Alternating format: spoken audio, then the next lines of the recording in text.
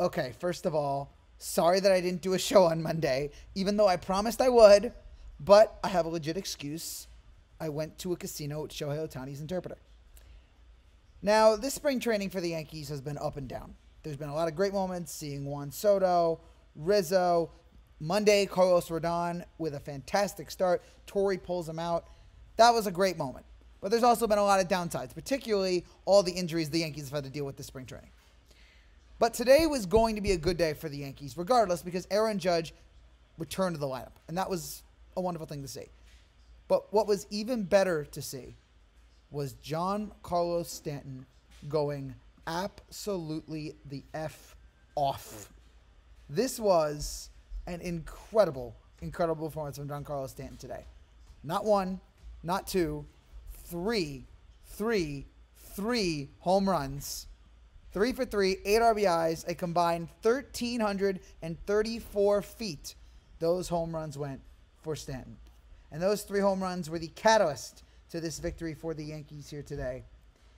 It was his fourth home run, I believe, of spring training. Or by the end of the game, yes, he had four home runs this spring training. We need a bounce back season from Stanton in the best way, in the worst way, whatever way we need it. We need a bounce back. And we got it here in spectacular, at least in this game.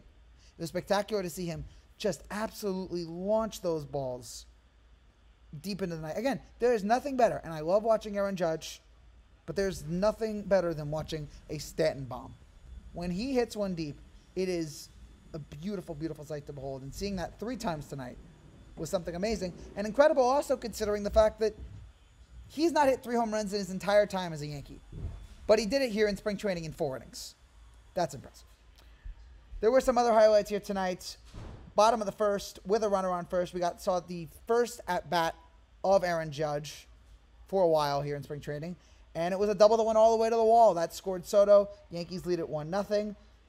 After the Stanton home run, then we saw Anthony Volpe rip one into right field for a solo shot.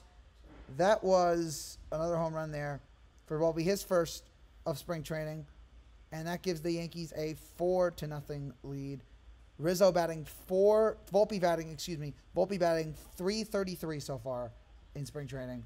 Continues to elevate himself, continues to make us all believers here that he can really turn it around this season.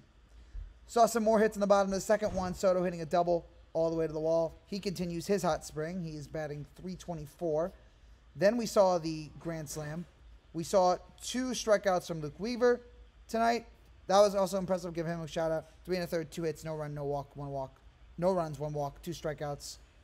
Good to see there. Bullpen carried the rest of the way. Then in the bottom of the sixth, we were hoping to see a fourth home run from Stanton, which really would have blown our minds. But instead, it was just a sac fly, scoring a run, 10 0. Then we saw Rizzo hit a double, go all the way to the left field wall.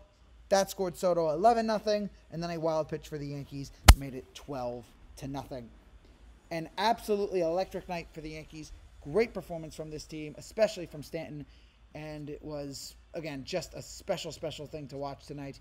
Stanton putting on one of the best performances we've seen as a Yankee, although unfortunately it's only in spring training, so doesn't really count. But God, if we can get this kind of performance next Thursday against the Astros, not even three home runs from Stanton, just a nice offensive performance, I feel pretty good about ourselves.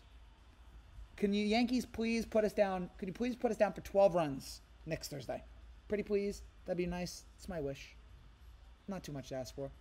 That's it for now, guys. Thank you guys so much for watching. If you're new to the channel, you can see, make sure you subscribe down below. I'll be back tomorrow with another Yankee recap. Take care and God bless.